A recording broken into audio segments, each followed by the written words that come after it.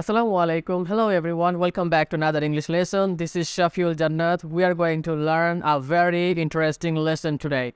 So, what are we going to learn today is how to congratulate somebody on their brilliant success. If somebody has achieved what they wanted, then how we can congratulate them on their brilliant success, on their brilliant achievement.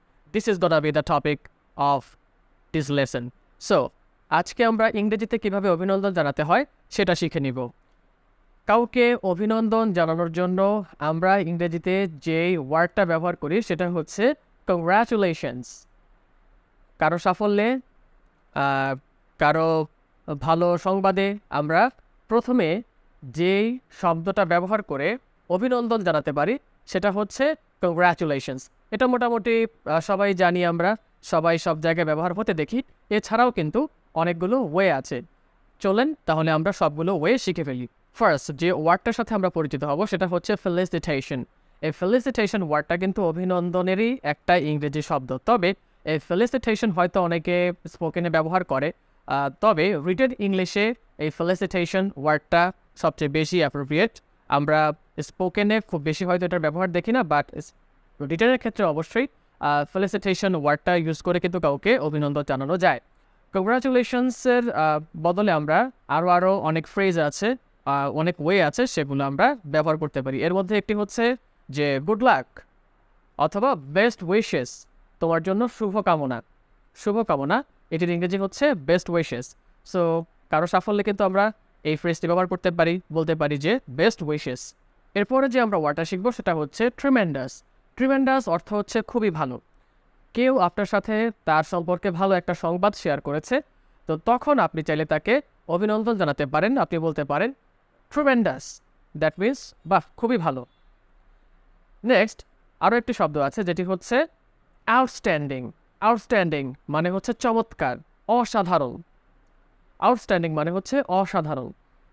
কারও ভালো সংবাদ পেলে, কেউ আপনার সাথে ভালো সংবাদ share করলে, আপনি তাকে অভিনন্দন জানাতে এটা বলতে পারেন আউটস্ট্যান্ডিং ইটস ফ্যান্টাস্টিক এই ফ্যান্টাস্টিক হচ্ছে আরও একটি শব্দ যেটি আমরা কংগ্রাচুলেশন বলার পরিবর্তে ব্যবহার করতে পারি। ইটস ফ্যান্টাস্টিক ফ্যান্টাস্টিক মানে হচ্ছে চমৎকার। এই ধরনের আরও কিছু শব্দ আছে, যে শব্দগুলো হচ্ছে ইনক্রেডিবল অ্যামেজিং অ্যামেজিং মানে চমৎকার। সো এভাবে কিন্তু কাউকে এনকারেজ করা যায়, কারও ভালো সংবাদে নিজেও খুশি প্রকাশ করা যায় এবং তাকেও খুশি করা যায়।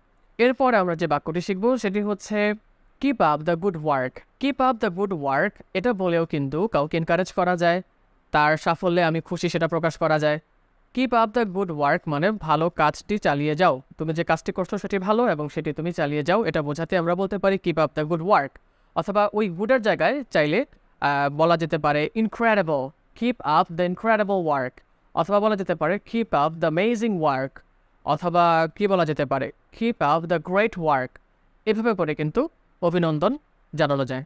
এরপর কিন্তু আমরা চাইলে এমনিতেও বলতে পারি যে this is amazing this is fantastic that is outstanding you have done a very good job you are amazing এভাবে করে কিন্তু কাউকে এনকারেজ করা যায়। নেক্সট যে ওয়েতে আমরা অভিনন্দন জানাতে পারি, সেটা হচ্ছে I knew you could do it যার অর্থ হচ্ছে, আমি জানতাম তুমি পারবে এটা। কেউ সফলতা অর্জন করেছে, সেই সফলতা অর্জনের পেছনে নিশ্চয়ই তার স্কিল আছে, সে অবশ্যই সেটা ডিজার্ভ করে। তো সেটা প্রকাশ করার জন্য কিন্তু আমরা এইভাবে বলতে পারি যে আমি জানতাম তুমি এটা পারবে। তার মানে হচ্ছে তোমার ব্যাপারে আমার অনেক কনফিডেন্স ছিল, আমার বিশ্বাস ছিল, এটা প্রকাশ করে। সেক্ষেত্রে সে কিন্তু অবশ্যই এইভাবে অভিনন্দন জানালে খুশি হতে পারে।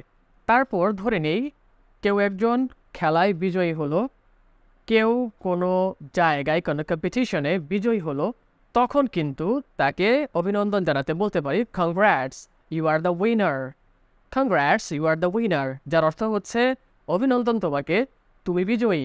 এরপর আরও একটা ওয়েতে কিন্তু অভিনন্দন জানানো যায়, যেটা হচ্ছে যে কংগ্রাচুলেশনস ইউ ডিজার্ভ ইট তুমি এটা পাওয়ার যোগ্য।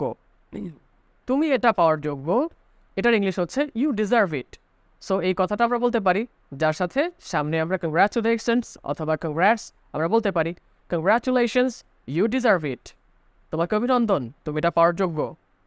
তারপর আরও বলতে পারি যে congratulations for your new job তোমার নতুন চাকরির জন্য তোমাকে অভিনন্দন। অথবা বলতে পারি কংগ্রাচুলেশন অন ইউর প্রমোশন মানে তোমার পদোন্নতির জন্য তোমাকে অভিনন্দন।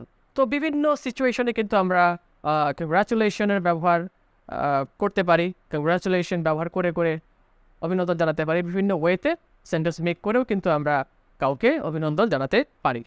এরপর আরও একটু ওয়েতে কিন্তু আমরা অভিনন্দন জানাতে পারি, যেটা হচ্ছে bravo you have completed the task nicely তুমি খুব চমৎকারভাবে, খুব দারুণভাবে কাজটা সম্পন্ন করেছ। সেখানে সাম্পাস বা বাহবাদ দিতে গিয়ে কিন্তু আমরা ব্রাভো বলতে পারি। এটা কিন্তু এক ধরনের অভিনন্দন। আবার কিন্তু বলতে পারি যে I am glad you have done the great job তুমি খুব ভালো একটা কাজ করেছ এই জন্য আমি খুবই আনন্দিত। এই যে, আমি খুবই আনন্দিত, এটাও কিন্তু এক ধরনের অভিনন্দন জানানো। তারপর I am so glad my heartiest congratulations to you মানে আমার অন্তরের অন্তঃস্থল থেকে তোমাকে অভিনন্দন। সো এইভাবে কিন্তু বলা যায়। বিভিন্ন ওয়েতে আমরা আজকে কংগ্রাচুলেশন জানানো দ্যাট মিনস অভিনন্দন জানানো শিখলাম। আই থিঙ্ক আমরা আমাদের কনভারসেশনে কাউকে অভিনন্দন এখন থেকে খুব ভালোভাবে জানাতে পারব, খুব সঠিকভাবে আমরা কংগ্রাচুলেশনস এর ব্যবহারগুলো করতে পারব। ধন্যবাদ সবাইকে আজকের এই লেকচারটি শোনার জন্য। আমাদের সাথে থাকবেন আসসালামু আলাইকুম।